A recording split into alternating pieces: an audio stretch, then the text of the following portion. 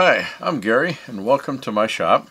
In this video I'm going to show you how I made a drill press table for my Porter Cable drill press commonly sold at Lowe's. Make reference to some of my notes here. Uh, this is a model PCB like uh, Paul Charlie Bravo 660DP as in Delta Paul. This is a versatile drill press and it has a lot of features that a lot of other drill presses in this price range may not have. Now, there are a lot of videos on YouTube on making drill press tables and they range from the very simple to the very complex. And I just wanted something that would suit my needs for the woodworking that I do. Now I'm always impressed with woodworking for mere mortals, Steve Ramsey, and the designs and ideas that he has and the simple yet effective solutions that he has. I'm very impressed by that and I get a lot of my ideas from him. I also got inspiration from Shop Built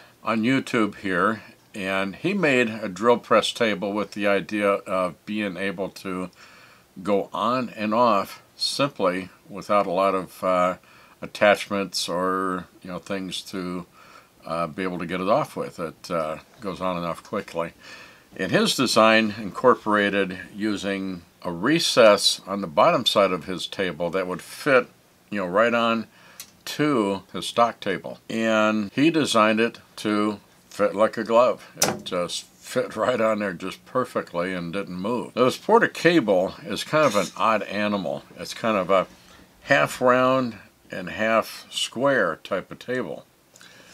Here is a pattern that I made for one of the ideas that I had for trying to make a recessed cavity underneath my table to make it fit like a glove. Unfortunately, it didn't work out as easily as I thought because the table on the Porter cable also has somewhat of a slope around the edges of the table and that turned out to be rather hard to try and match. But I came up with another idea that works just as perfectly well and works great on this Porter Cable drill press. So in this video I will show you how I made this fit my Porter Cable drill press table. Below I will also put links to Woodworking for Mere Mortals and the drill press table that he did. Very simple design, very effective. And also I'll put a link to the video for the drill press below for shop builds. Very good and that's, you know, both of these are what inspired me to do this one. So I hope this works for you, and we'll see you as I go on here. Here's my $30 Harbor Freight drill press table. But it's a little bit short, and when I put some jigs on here, such as this vertical drilling jig, and then for the other ends here, to secure this into this, I want to be able to slide this in enough where my drill bit centers on this. And I'm at a real close edge on the bottom side of these here in that T-track where these are very close to slipping out and not really getting a good grip. So I'm going to build a bigger table that's uh, wider so I can have more range with putting jigs on here. The reason that my table from Harbor Freight here sits so far back uh, from this edge is because this is what lines up center to my drill chuck. So that's why it you know winds up being so short here as, as I'm trying to center onto this replaceable backer. Okay, as you can see on my Porter cable drill press has a basic metal table, not real good for woodworking. So I want to make a new drill press table to replace that old hard. Here at the table saw I had two boards that were 16 inch widths by 4 foot uh, in my scrap pile. So I trimmed them down to a 15 and 3 quarter width to clean up the edges and uh, cut it to a 30 inch length here as that's the size I'm aiming for for my drill press table. I'm going to join these two sides, got the knots on them, and have these clean sides together. Uh, before I do that with the top piece, I'm going to go over to the bandsaw. I'm going to cut out half circle here for clearance space for the drill press post and then I'm going to cut out an area here for putting in an insert for a backer board for when drilling. Then I'll come back here and glue these boards together. You know, originally that old Harbor Freight uh, table that I've got for the drill press was 24 inches long or wide. And I wanted to go with something a little bit longer than that. I was thinking of going with 30 inches, but then that really seems to be a little bit too much. So I'm going to scale it back to 27 inches, which will be uh, 3 inches wider than the Harbor Freight one was, 3 inches shorter than the 30. So I think that will be a better size. Now I'm going to find my center on here and then mark for making that half round hole of a 4 inch diameter. 27, half of that would be 13 and a half there. Now I have my compass set it's for a 2 inch mark. It'll give me a 4 inch diameter. Actually it's a little bit wider than what the post is, but uh, doesn't hurt to have a little bit extra on there. It's not a critical measurement. Okay, that, if you can see it. Um, I will cut that out with the jigsaw since I don't have enough clearance on my bandsaw table to make that cut around. On the corners, I'm going to mark half inch rounds, just like I did on my bandsaw table. That uh, softens the corners. Uh, doesn't hurt as much if I bump into it that way. So, and that's small enough of a curve on there that I can just do that on my oscillating sander. I don't have to whack it off with a bandsaw at all.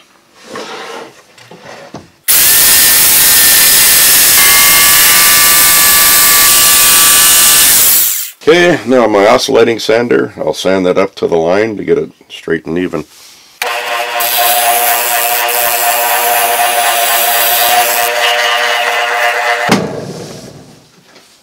Okay, so I measured the distance from this post to this hole in the middle here. And what I come up with is uh, it's kind of odd and hard to figure out the diameters exactly or where the center of that hole is. But I noticed that to the edge of this hole here where this chamfer begins for the hole it's seven inches. And then I looked at the diameter of the hole from this one edge of the chamfer to the other edge of the chamfer where that ends at and that's one and one eighth of an inch. So dividing that in half is nine sixteenths of an inch. So the center of my hole is seven and nine sixteenths of an inch from this post. So that's what I'm going to measure out on my board to lay out for my cutout for the backer board. When I laid out the center for this space here, I provided an equal distance from the post all the way around here to you know center my table here on and to make my measurement here for my center. So here on the board I marked up my center where the center of the hole should be on that table, 7 and 9 sixteenths of an inch there. And then I also marked it for center across the board at 13 and a half inches. And then from there, I measured out, I want to have a 6 inch square insert here. So I measured out, you know, from the center here to 3 inches to each way. And then got it all squared up and marked out with my square. Then what I'm going to do is I'm going to drill in each of these corners a three quarter inch Forstner bit hole, about 3 eighths of an inch deep. May add some in the middle of these parts too. And what I'm going to do is have these Forstner bits holes kind of overlapping here just like a half circle. And that'll be for fingers uh, getting in there to remove and put in new parts or to rotate it around. Another reason why I want it square is so I can rotate it around. Uh, depending on different positions, I might be in different places. And then the holes will make it easier for extracting this piece out of there. Got one hole drilled and I had set the depth stop uh, to stop it on point.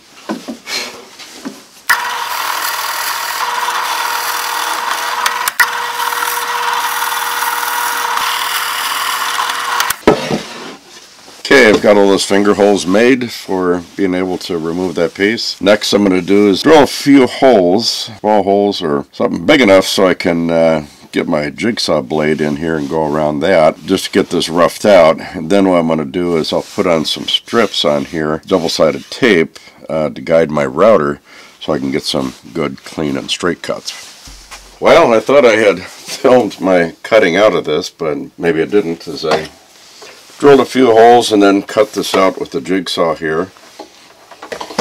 Now I'll put on some strips here to as guides for a router bit so I can get these good and straight.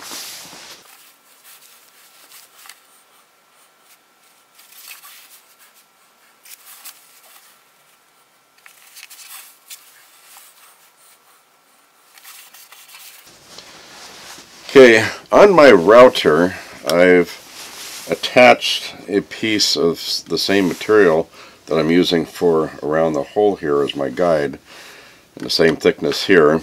And this will give me balance uh, when I'm going around because um, without anything I can tend to rock too much. So this gives me an extra footing there to keep me steady as I go around. We'll see how this goes.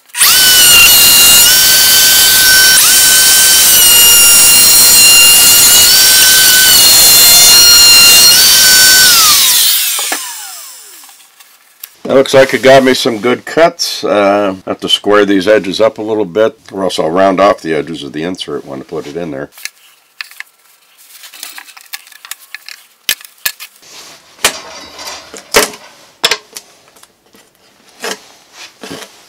So these look like uh, they came out very, very good, very nice and straight and smooth. Okay, so I have my top cut out here, pattern for the post of the drill press. Got this cleared out here where I can put in backer boards for drilling. So what I'll do is take the other board that I'm going to put on here and I'll size this up to match to this other top that I've done and cut out this clearance area here for the drill press post. So I'm going to rough cut this um, opening here for the drill press post. I'm not going to sand up to the line. Uh, once I glue this and the top board together, then I'll use a flush trim bit on the router to go around that and all around the other corners to make sure it's all equal around. So just cut this out roughly for now.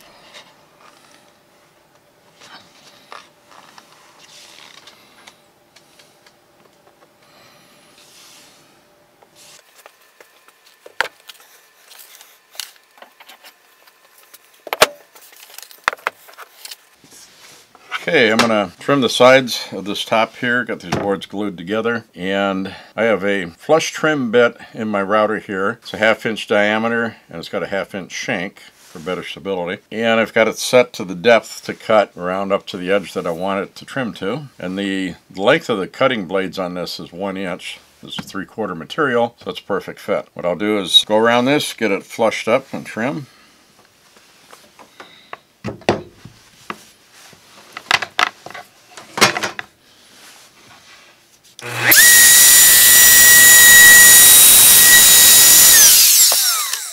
Sure to keep your cord out of your way so you don't cut into it.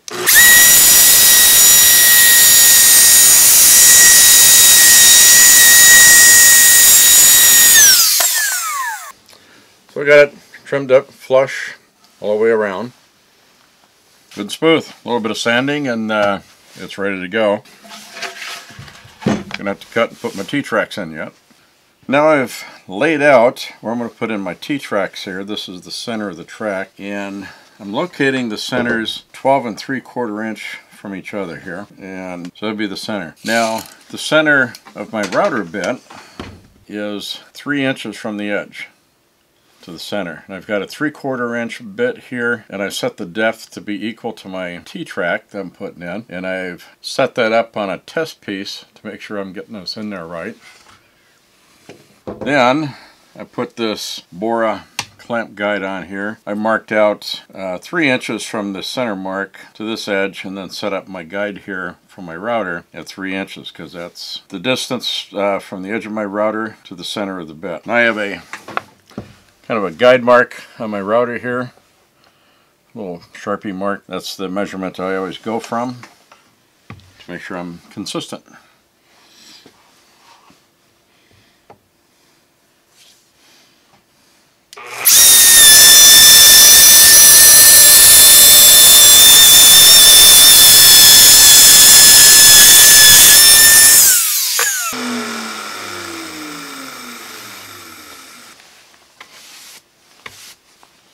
This is the T-track I'm going to be putting in.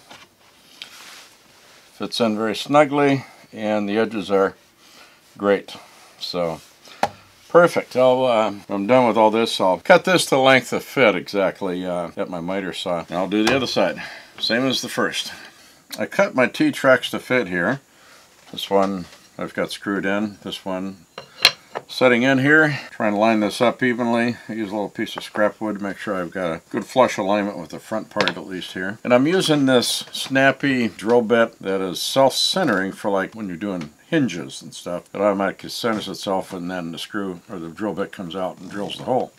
And for the screws to hold these tracks in place, I'm using a number six, three quarter inch length flathead wood screw. And it fits into these recessed parts here. Got that there, I get one drilled.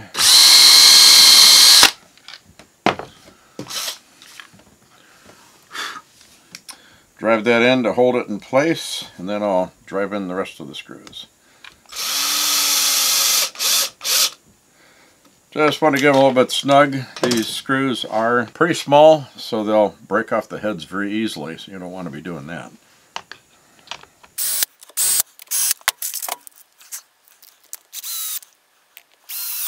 Okay, so got these two tracks in there.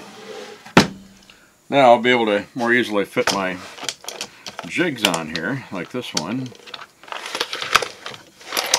I get that size fitting around in there to get it into the right position that I need when I'm drilling these vertical holes. And these knobs will lock in place so it holds solid.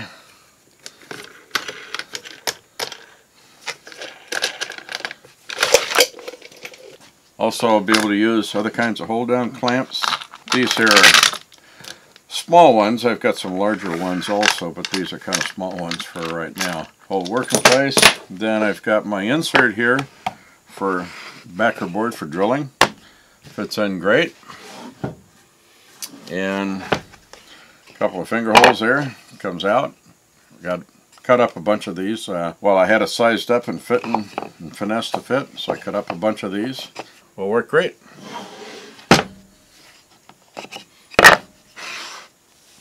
Okay, on this table here, right here, there's a hole. It has a 5 8 National Fine thread to it. So I picked up a bolt at a local supply company. It's a 5 8 National Fine thread. I'll thread that in here.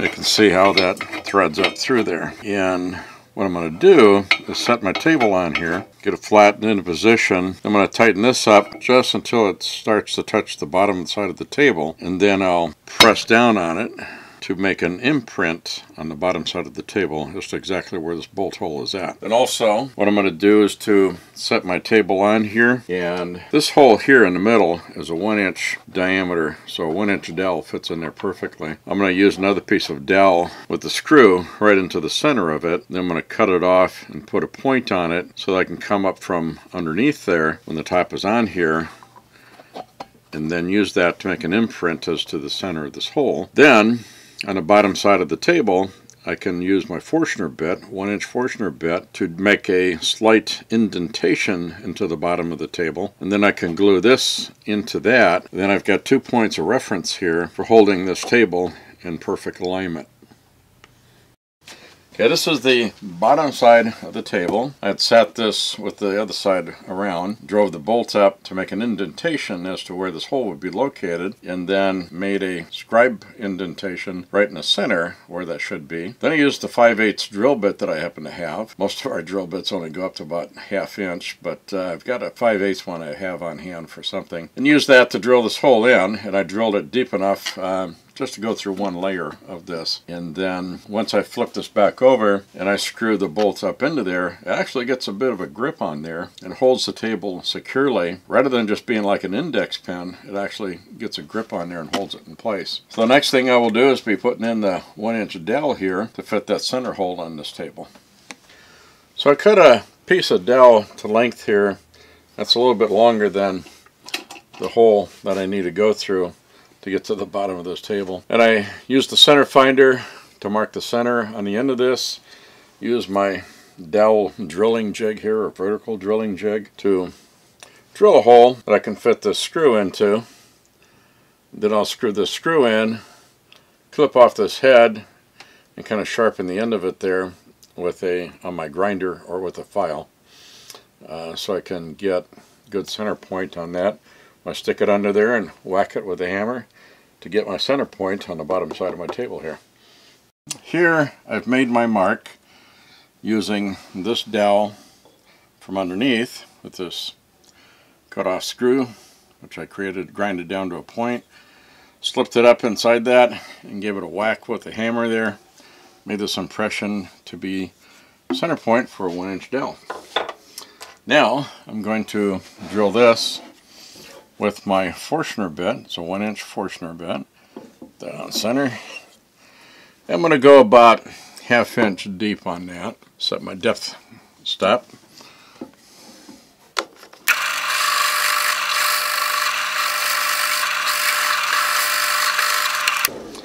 Okay, that's the half inch deep. Now what I'll do is uh, cut a shorter piece of dowel to length here and glue that into there and that'll be my one of my alignment points. So I cut this dowel to about an inch and a half length. I've got a half inch that's going to go into the bottom side of the table so it leaves about an inch sticking out go into here. And then I sanded around this a little bit because you know wood is going to shrink and expand, you know, through the seasons, although my seasons here are fairly stable as far as the humidity goes. Then I chamfered with the sandpaper, a little bit of a chamfer around the bottom edge here to help this fit into the hole more easily so it's not going to be, you know, real difficult or a struggle. And on occasion I may need to sand this down a little bit and wax it a little bit just to make things, uh, you know, slip and slide together easily. Okay, so the glue has dried on this dowel. It's stuck in there good. So I'll flip this over. Get it to drop into the hole. Drops right in.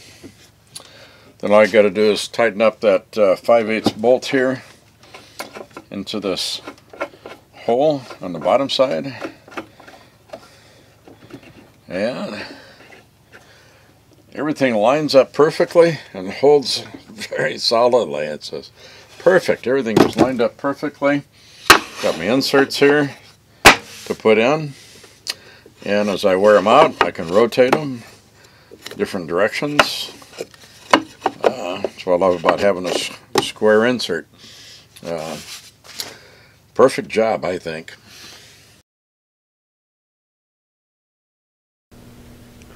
Well, to wrap this up, thank you for watching this video. Hope you enjoyed it. I hope you got the inspiration to make something of your own. Please give me a like and share with your family and friends. And please subscribe to see what I may come up with next. Thank you.